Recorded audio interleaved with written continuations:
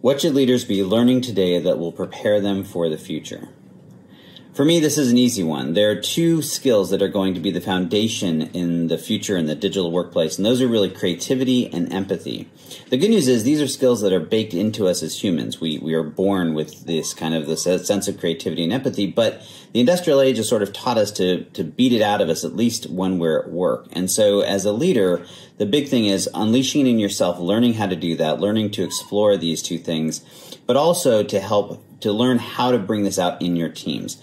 It's something that I've been doing a lot of research and learning around myself. There's a number of great books that I'm sure we can tweet out uh, to help you in both these areas, but, but those are the two skills that I'd be putting all my energy into right now. Hashtag Digital Workplace Day.